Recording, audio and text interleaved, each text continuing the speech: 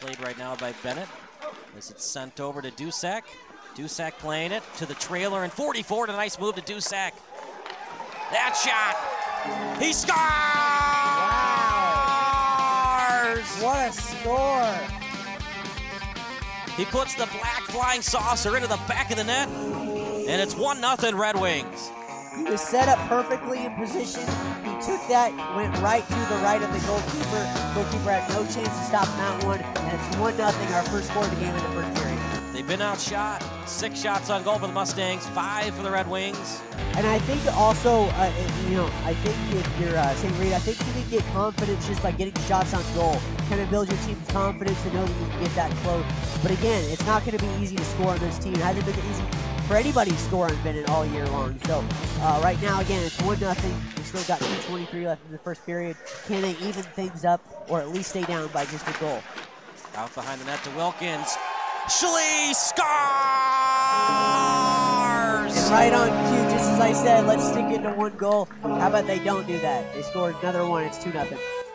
To Wilkins, to Schlee.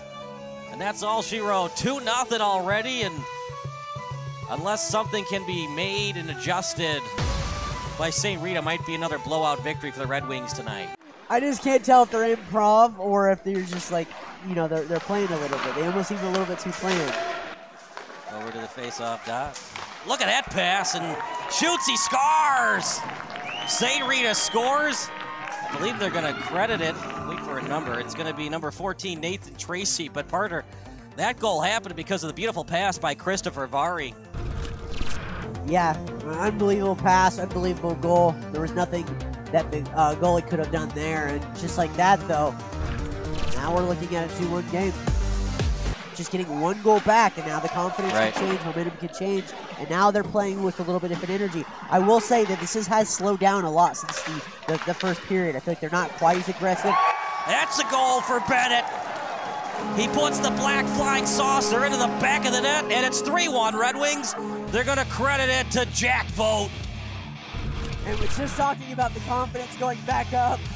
And just like that, we're back to square one with a two goal deficit. Talk about a dagger into the hearts of St. Rita's faithful right after they looked like they were going to get back into it. Huge goal by Jack Vogt. St. Rita for them to win this game. They're going to have to play outside their comfort zone.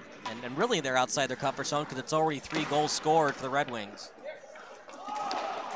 Nice pass. Breakaway coming up for St. Rita. Pass. Shot. I think he scored that. And he did score. He did. Wow. Goal. Just like that, we have an interesting game on our hands. Yeah. Benet's got to do a better job of getting back. Way too aggressive. He'd like to be behind the blue line, not in front of it. And another goal scored for Nathan, Nathan Tracy. He's got both of their goals thus far. Back over to neutral ice. Pushing it into the zone. Three on two. Shot. Pad wow, saving a beauty nice by save.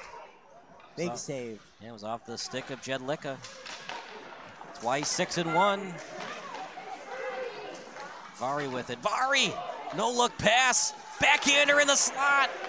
Puck still loose. Another try for St. Rita. That wrister. He scores! What a goal. Antonino Gentile.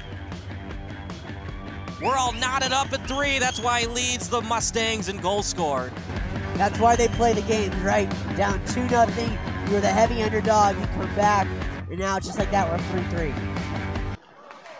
It seems like they have a very good combination between Vari and Tracy. And here's a breakaway coming up for the Mustangs. Couldn't get much on it, but he oh, scores anyways.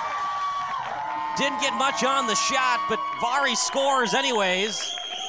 And one of the few mistakes that Benjamin Cicla has made all year. We're going to watch that replay in a second. They were complaining about something, and I'm not sure what it was. They were complaining it was offside. Oh boy, there was really nothing on that shot by Vari, and what a break for the Mustangs. They don't trail very often. Look, they're at home. We still got plenty of time. 46 seconds remaining in this period. Here's another breakaway. That shot, he scores! Wow. Antonino Gentile, and now the Red Wings are hurting a little bit. Yeah, a lot of it. And again, this is the confidence I'm talking about. They're playing free, they're playing loose, they know they have control. Now they know they can beat this team. And when you know you can beat a team like that, regardless of record, especially when you go down 2 nothing early, I mean, that's that's five to one since that 2 nothing deficit they face. Well, if it's one game, you know, you, you got to move on to the next game. But it, you would think it's going to help their confidence, knowing that just because they started, that's a goal, a power play goal. How about that one from Benet? I, I just can't read this game. This might be a 7-6 final today. No goal goalie is very good today. Excellent shot, though, and there to finish it is Carson Stone. And don't go anywhere. We got ourselves a hockey game once again. 107 to go. It's a goal! I'm gonna watch it on replay. That's kind of miraculous how that happened. But a goal credited to DeCazzola and Nolan. After all that, we might have ourselves overtime hockey tonight. We might have ourselves overtime hockey is right. One of four left. Wow.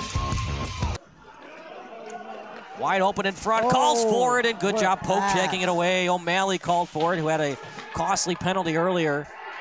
Remember, it was 5-3. Here we go. Breakaway for the Red Wings. Dusak shoots. He scores!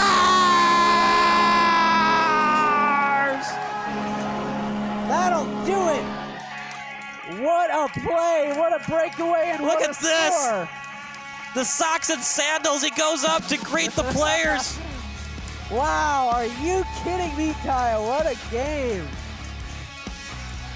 I don't know if that's how Andrew Schlee wanted to draw up the victory tonight, but they're down five to three. They score on the five on three, and then a goal that should not have happened. Morgan allowed it in, and the breakaway goal for Thomas Dusak